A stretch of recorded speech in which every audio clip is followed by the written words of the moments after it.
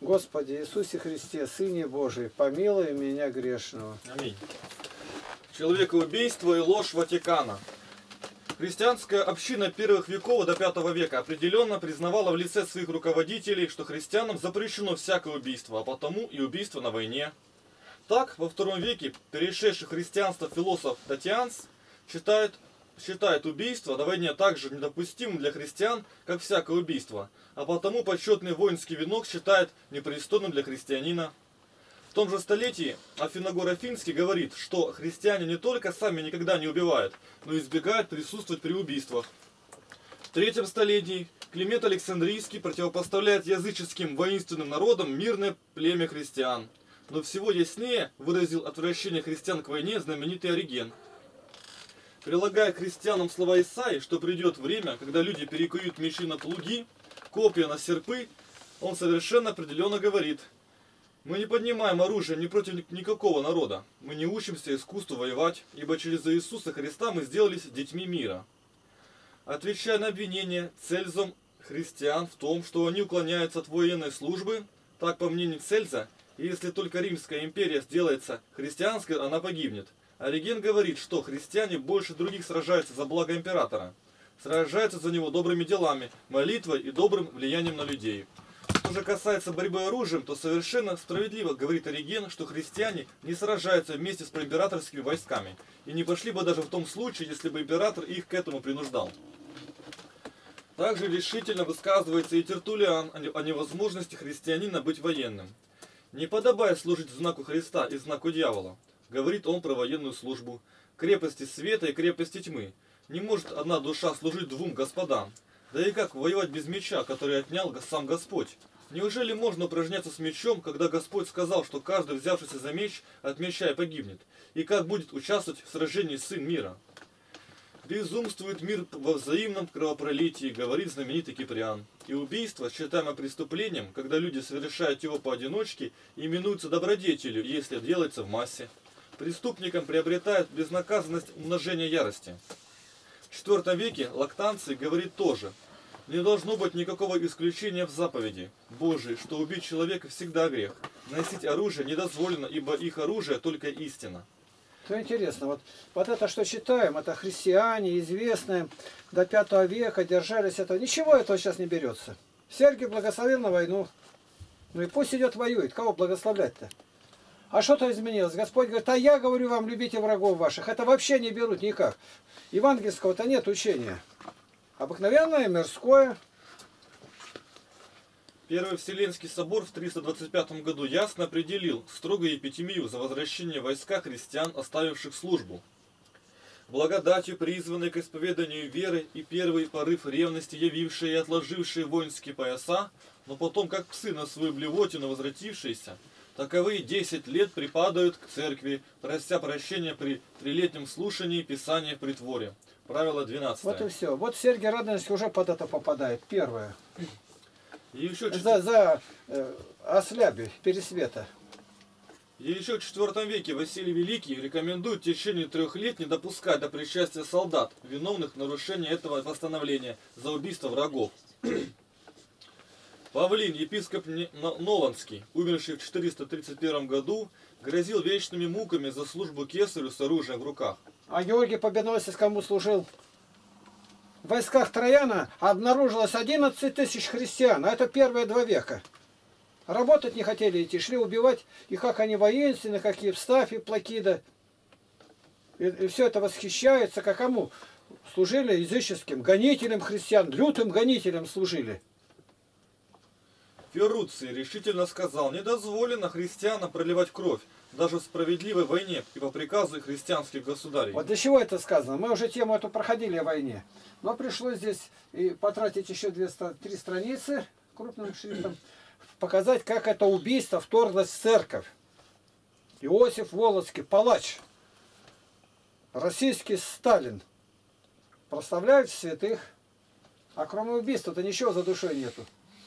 В 1244 году Иннокентий IV даровал кардиналам красную шляпу, как символ того, что они должны всегда быть готовыми пролить свою кровь в защиту церкви. Урбан II, 1088-99 года, француз, стал вдохновителем крестовых походов, имевших целью освобождения гроба Господня от ислама. Пока гроб Господень не освободили, своих-то гробов тысячи выложили.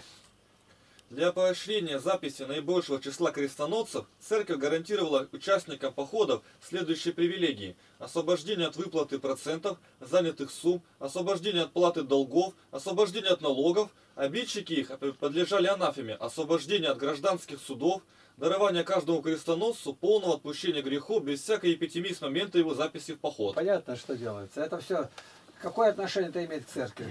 Папа Урбан II был первым папой, начавшим раздавать индульгенции, от латинского оказывать снисхождение. Вот она, экономия. В католицизме отпущение грехов, грамота. Были изданы книги с указанием суммы денег, которые нужно было выплатить за сделанный грех, или тот, который думал сотворить. Продажа индульгенции есть и в наши дни.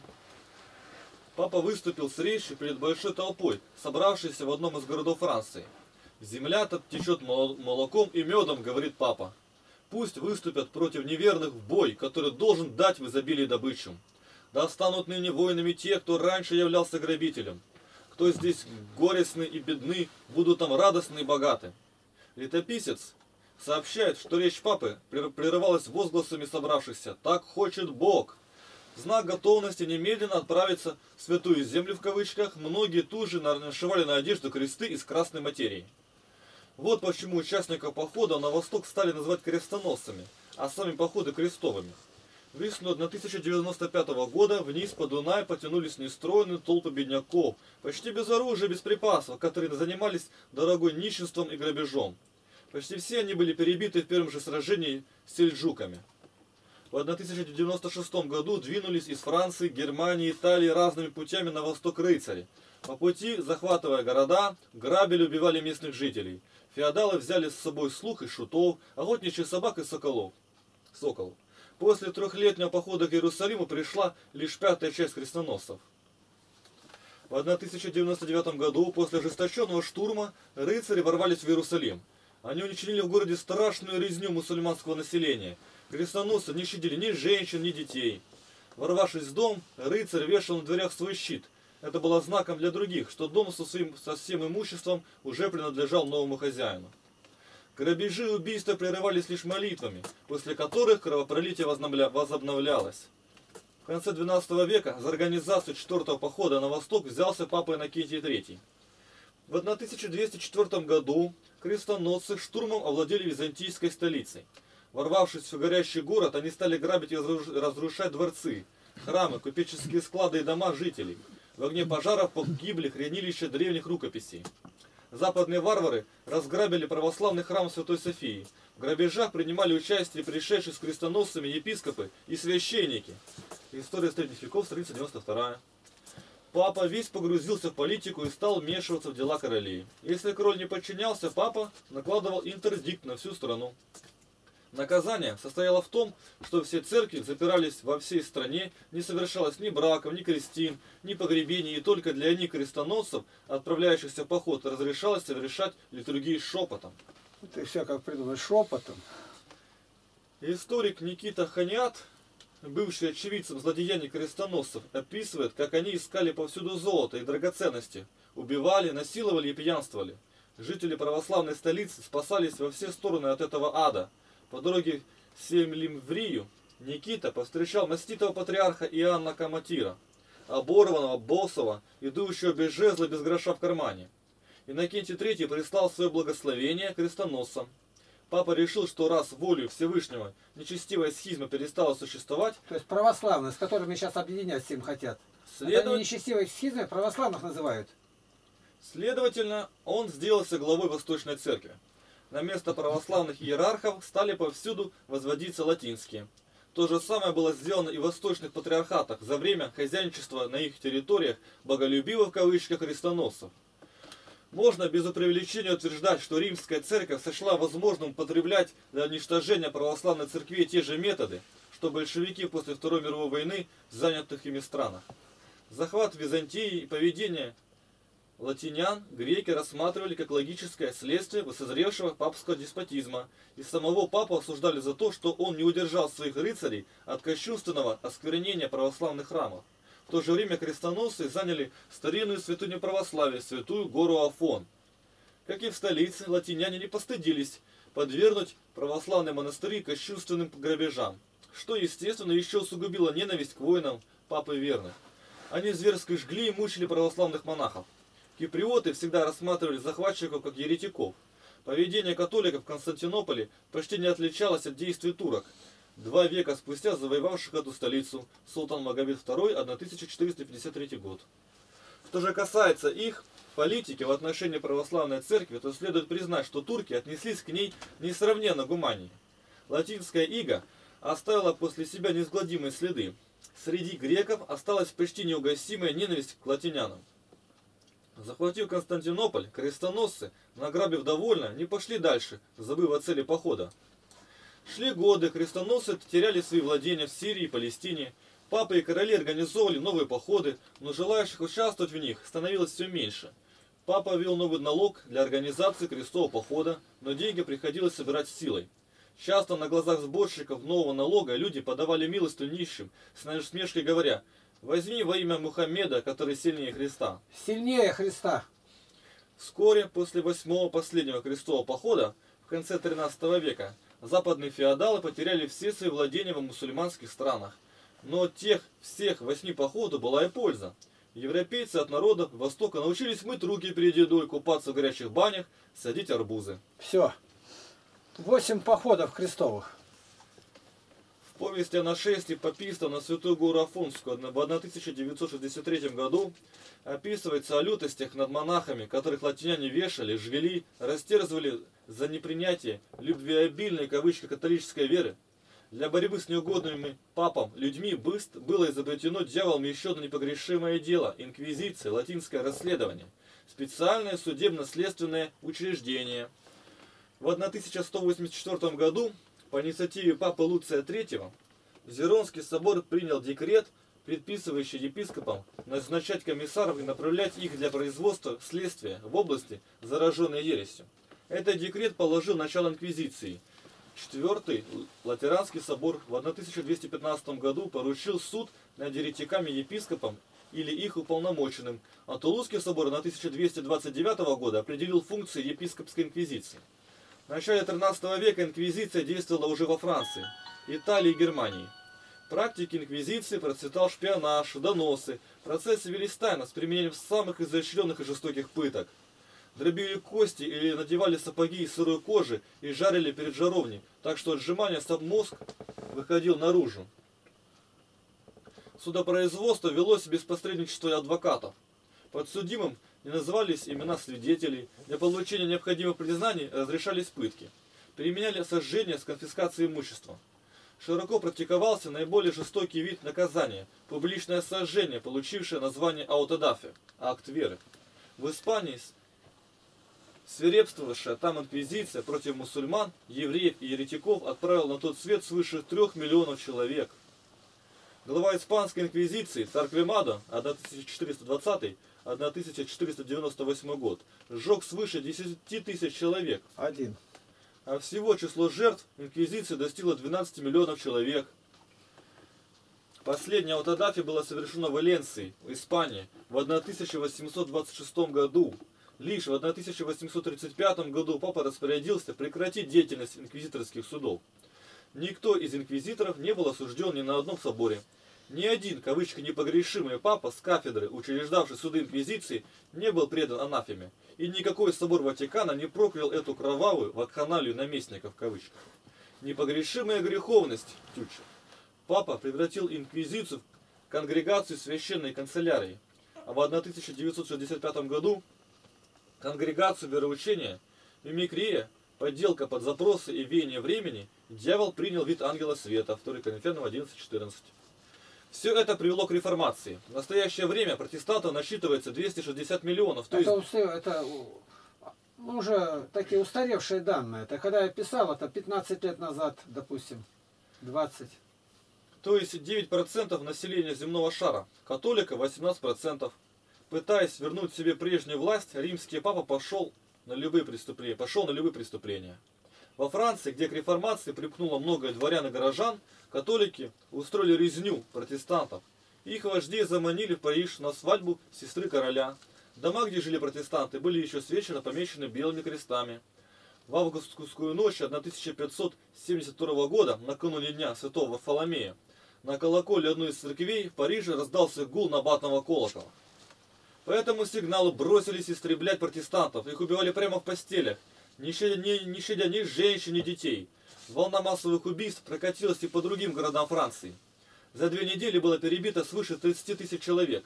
Это избиение было названо Варфоломеевской ночью. Папа Римский не только одобрил эти убийства, но в память о них приказал выбить медаль и устроил в Риме иллюминацию.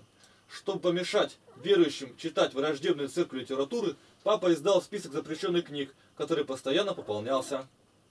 В правилах иезуитов говорилось, если церковь определила, что вещь, кажущаяся нам белой, черна, мы сразу же должны признать ее черной. Иезуиты шпионили и подслушивали везде. Отовсюду стекались тайные донесения в Рим, главе ордена иезуитов, хотя они своих монастырей не имеют. Они одевались в обычную одежду и вели себя так, чтобы ничем не выдавать своей принадлежности к ордену. Пронырливый иезуит с вечно настороженным слухом, вкрадчивым голосом и льстивой улыбкой.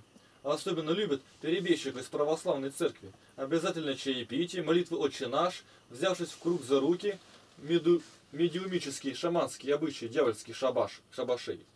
Изуит может проскользнуть в самую узкую щель, до самой Сибири, из далеких польских сел и из Ватикана. Лестью и обманом изуиты старались завоевать доверие королей и министров, знатных и богатых, подчинить их своему влиянию. Но если какой-либо правитель выступал против папы, они пускали в ход кинжал и яд, расправлялись с ними руками наемных убийц. Члены ордена считали, что в интересах церкви для большей славы Божией, в кавычках, Для вящей, славы Божией. для- можно совершить любое преступление. Мошенничеством и спекуляциями орден иезуитов накопил огромное богатство. Имели большие земельные владения, свои предприятия, корабли и даже колонии в Южной Америке. В колониях, на полях и рудниках на них работали местные жители, обращенные в рабов. С помощью иезуитов католической церкви удалось подавить реформацию в Польше, Чехии, Италии Южной Германии. Король Нидерландов Филипп II после герцога Альбу в 1566 году произвести суд над еретиками. Послал. Я послал. как-то прочитал слово-то Да. какое-то. Послал непонятно. герцога Альбу произвести суд над еретиками. В городе выросли леса пик с отрубленными головами. Для осуждения было достаточно нескольких минут.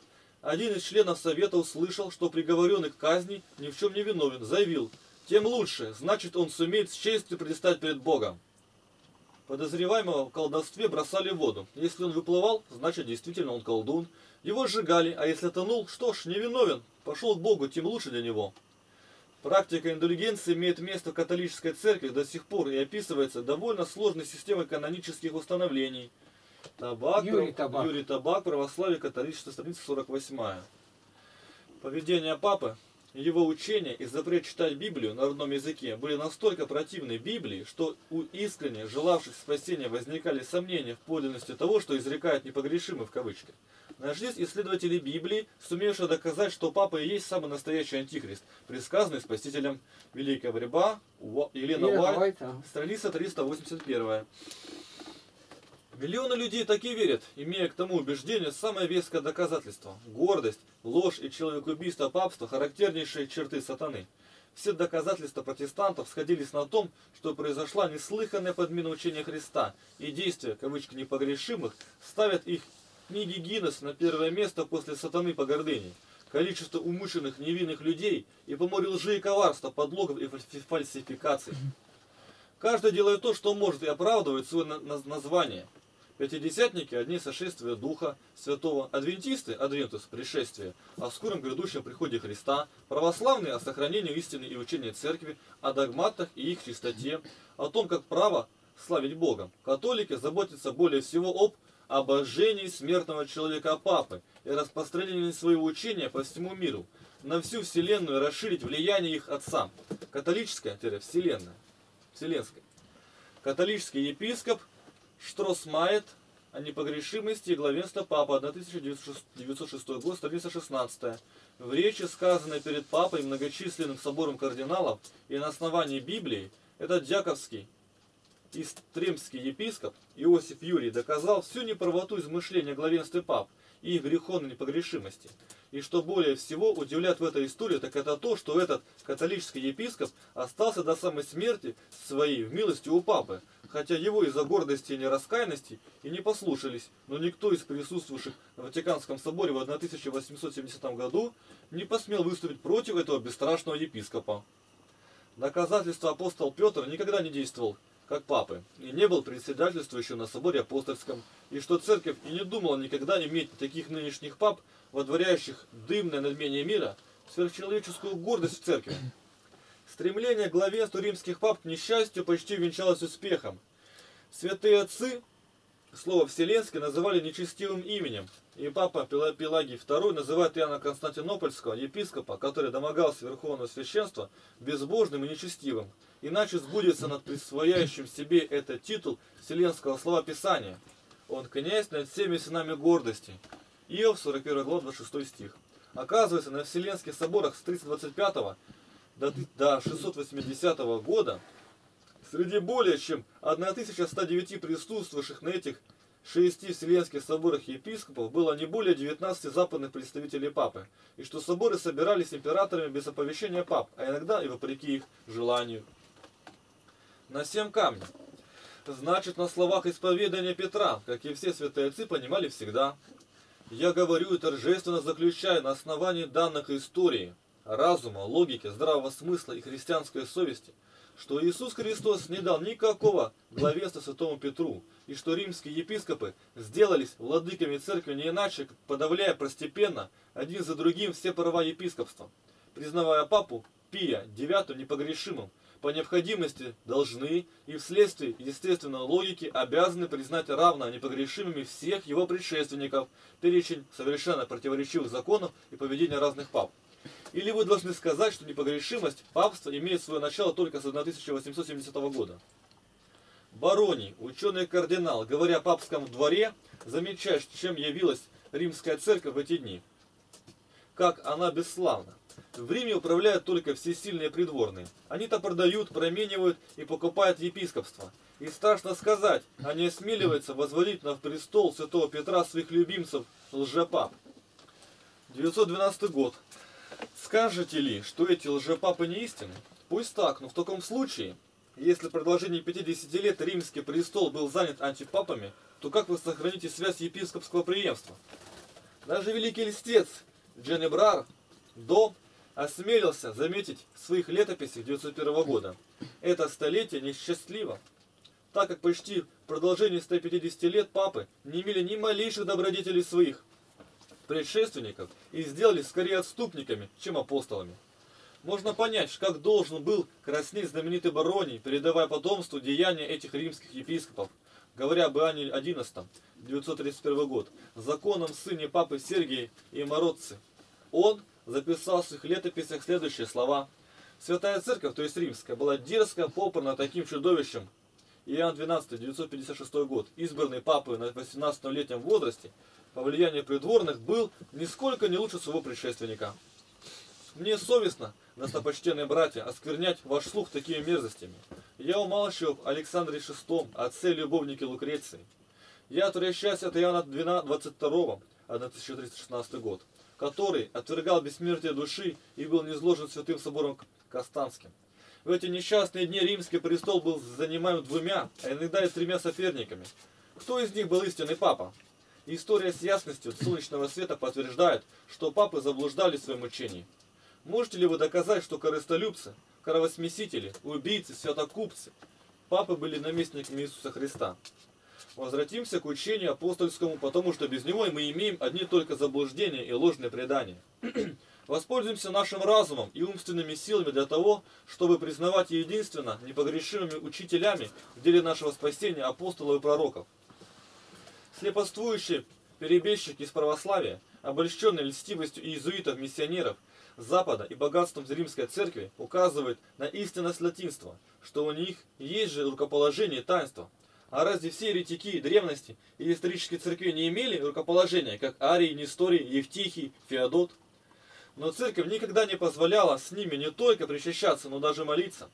Путь западным миссионерам открыли более всего не коммунисты или атеисты, Не сектанты только, засылаемые Запада, но более всего мнимо православные епископы и священники, хлынувшие на просторы России и Сибири с Украины и Белоруссии, будучи с пеленок зараженные униатством.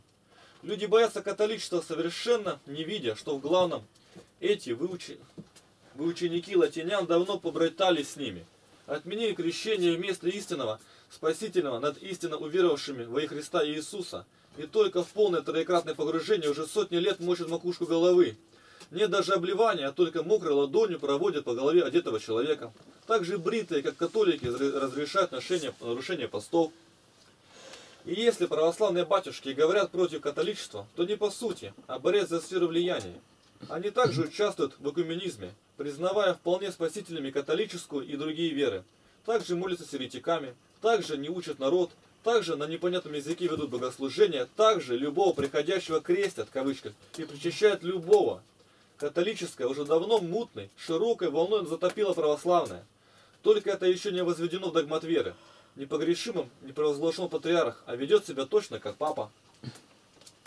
Отступники от истины были всегда. На небе не было ни гордых, ни грубых, ни невоспитанных, но дьявол и там успел восстать против Бога и свергнуть в пропасть одну треть ангелов. То есть, может быть, сотни миллионов или миллиарды служивших любви. Откровение 12 глава 4 стих. И эта дьявольская агитация ведется на земле.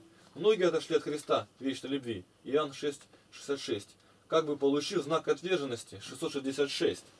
Там, где жизнь, там всегда есть и отпадение. Гордое, лживое, убийственное, осуждающее духовных своих отцов, хамов грех. И они, как незрелые смоквы, отгнивают, отпадают, Откровение 6.13 и все тайные работники уходят во тьму. Они вышли от нас, но не были наши. Ибо если бы они были наши, то остались бы с нами. Но они вышли, и через то открылось, что они все наши. 1 Иоанна 2.13. Открылось благодаря милости Божией, иначе бы они дальше заражали ропотом, хамством и остальных. Апостол Павел и святые советуют извергать таких из среды общин, дабы они не заражали других, ибо им уже ничто не поможет, они самоосуждены. Титу 3.10.11. И ни я, ни Бог тебе не поможет, если ты сам себе не поможешь, я Златоуст. Наблюдайте, чтобы никто не лишился благодати Божией, чтобы никакой горький корень, возникнув, не причинил вреда, и чтобы им не осквернилось многие. Евреям 12.15. И извергните развращенного среди вас. 1 Коринфянам 5.13. Скажут, что католики не еретики, но вот что об этом говорят святые отцы, носители истины и благодати Божией. Ни одно исповедание христианской веры, кроме православного, не может привести христианина к совершенству христианской жизни, или святости, или к совершенному очищению грехов и к нетлению, потому что другие исповедания, не православные, содержат истину в неправде. Римлянам 1.18. Перемешивая суемудрие и ложь к истине и не обладая теми благо... благодарованными средствами к очищению, освящению, возрождению, обновлению, коими обладает православная церковь. Опыт веков или история православной церкви показывает, что это с поразительной очевидностью. Нельзя считать другие исповедания все за истинные и спасительные. Безразличие вере или признание всякой веры за одинаково спасительную ведет к безверию или охлаждению к вере, к нерадению об исполнении правил и устава веры, к охлаждению христиан друг к другу. Строго держись единой веры и церкви. Единая вера, единое крещение, един Бог и Отец всех. Ефесянам 4.5. Православная церковь превосходит все церкви неправославные, во-первых, своей истиной, своим православием, соблюденным и завоеванным кровью апостолов, иерархов, мучеников, преподобных и всех святых.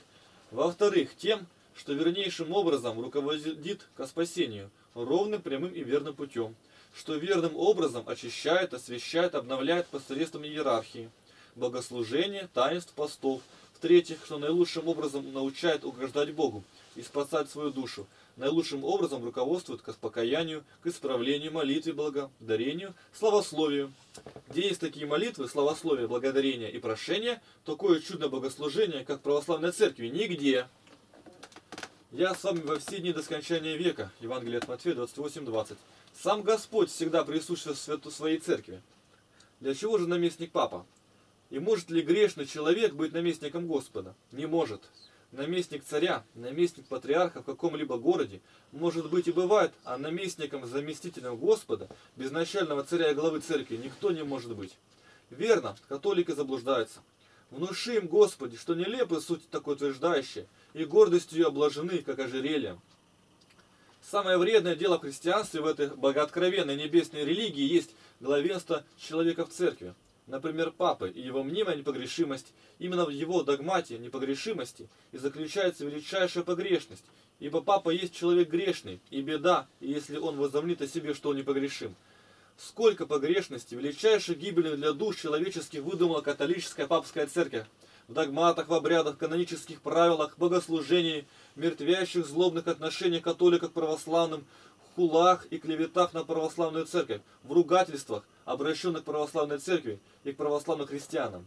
И во всем этом виноват непогрешимый якобы папа, его иезуитова доктрина и дух лжи, двоедушия и всяких неправильных средств, больше славе Божией в кавычках. Необходимо принадлежать к Церкви Христовой, кое глава есть всемогущий царь, победитель ада Иисус Христос.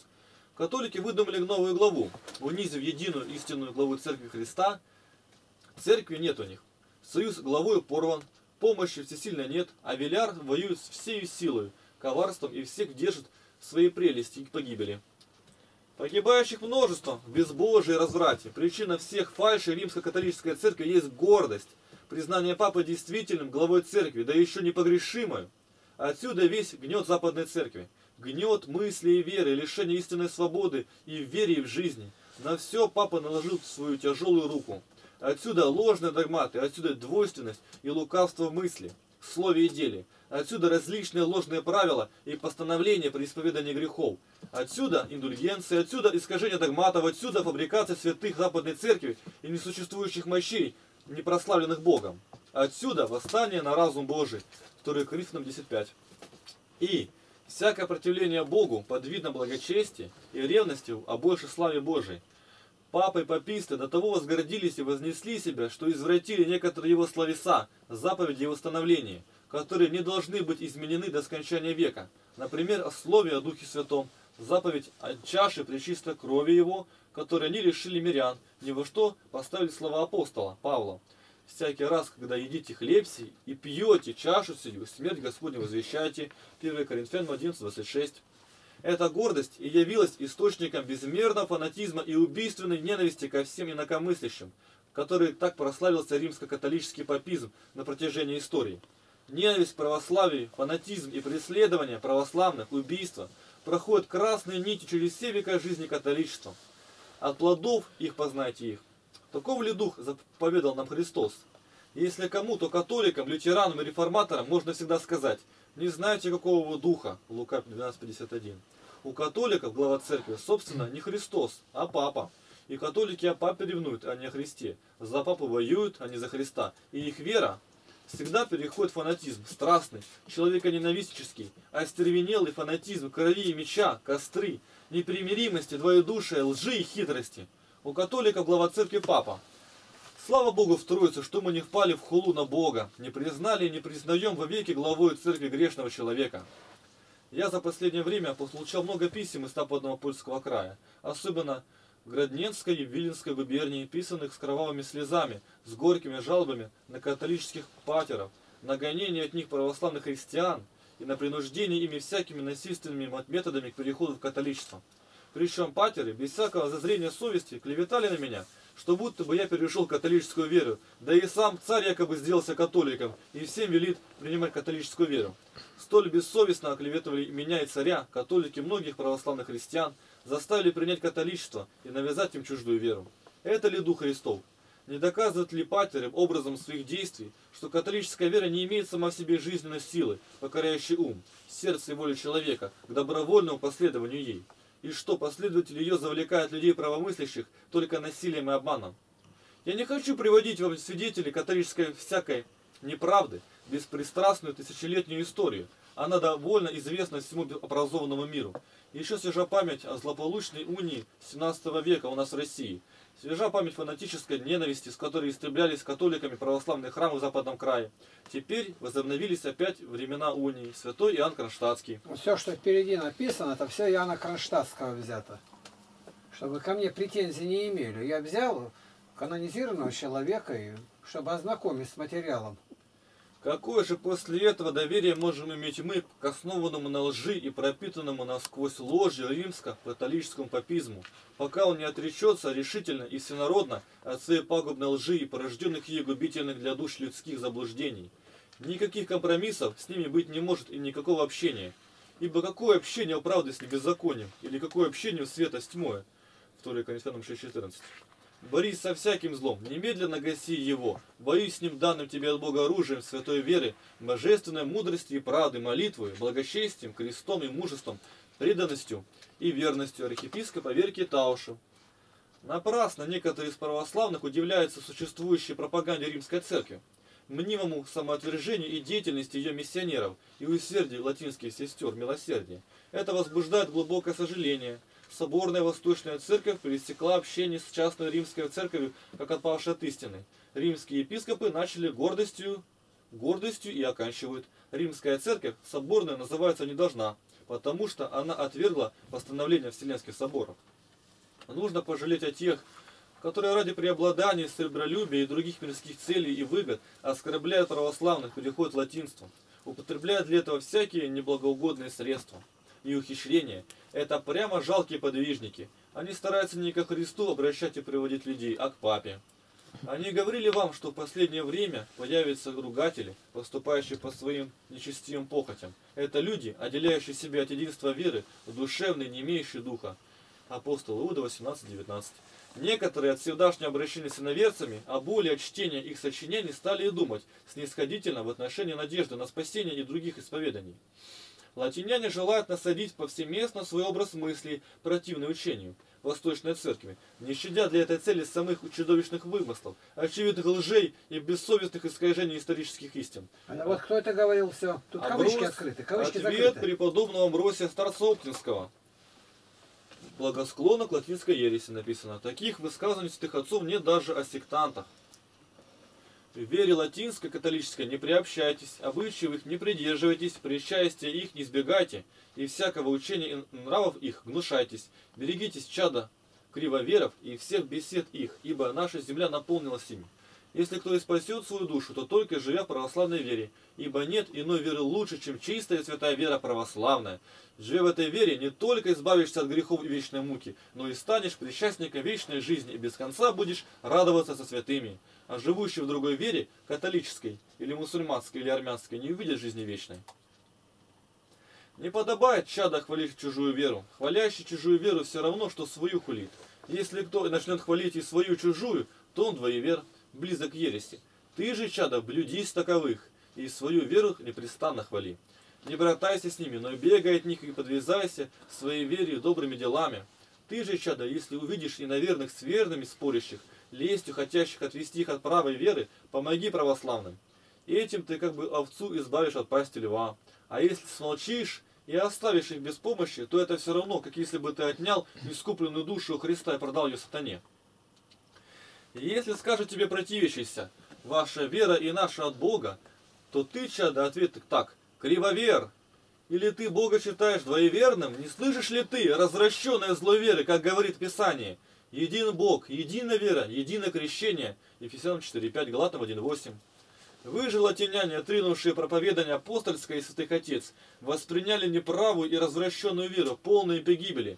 Поэтому вы отвергнуты нами, потому что вы мертвы и мертвую жертву приносите. Завещание преподобного Феодосия Киево-Печерского, написано в XII веке великому князю Изяславу, главе Киевского государства, основоположник русского монашества, да найдут доступ каждой душе, еще не мертвелой, еще не отравленной иезуитами эти призывы святых отцов церкви. Задумайтесь, кто, стоит, кто стоит за спиной этих елейных и любвеобильных, в кавычках, угощающих чаем, учащих молиться, взявших за руки в колдовской и медимический круг. Если в Польше и других католических странах не хватает 40% священников и до 90% рабочих не ходят в церковь, если с Запада вся мерзость ереси, разврата, порнографии, киноиндустрии, то чего же ради их Ромео, Паулюсы, Петрасы едут за тысячи верст спасать русских бомжей от веры? Неужели им свои не дороже наших? А если кто о своих не печется, то хуже неверного. Развратив, ограбив русских, они учат нас верить и жить и быть любвеобильными. Для чего? и бескорыстно, не ради ли душ, подводимых ими к Антихристу?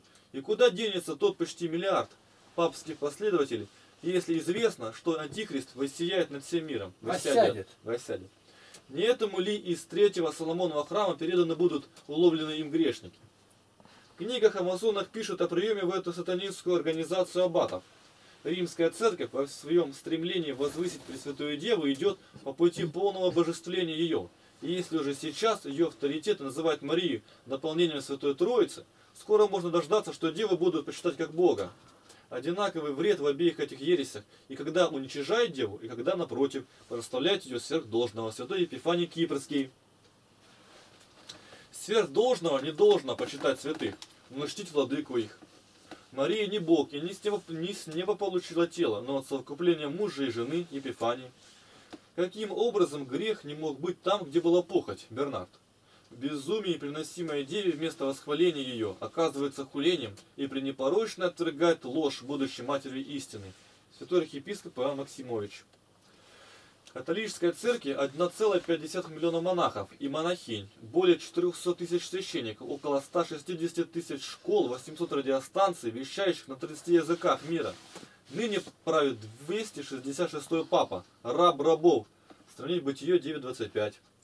Только один золотой фонд Ватикана свыше 1 миллиард долларов, тысячи предприятий, университетов и больниц. Это все где-то лет 30, может, а лет 25-30 назад я брал из... Теперь другие данные. Модернизм и коммунизм проникают и в православную среду. Западный мир и после падения Рима от православия по инерции еще долго сохранял многие христианские добродетели и ценности, но он был на пути к явной катастрофе. Хомяков писал, нравственное изнеможение становится с каждым днем более и более ощутимым. Латинство, размываемое волнами протестантизма и живущее рационализмом, теперь же само становится протестантской религией. Этот процесс стал развиваться, хотя и незаметно для поверхностного наблюдателя, с невероятной скоростью после Второго Ватиканского собора.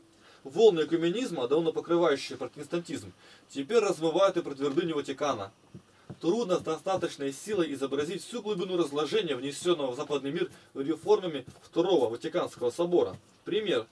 Папа Пий V 19 июля 1570 года, войдя в новый служебник, издал декрет, который должен был оставаться в силе навсегда, с тем, чтобы никогда бы от него не убавлялось, и ничего бы к нему не прибавлялось в будущем при совершении мессы.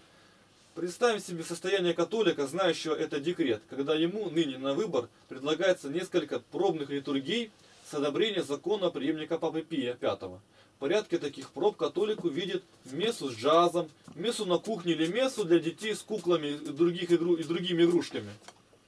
Предание отброшено, и это все во имя современности.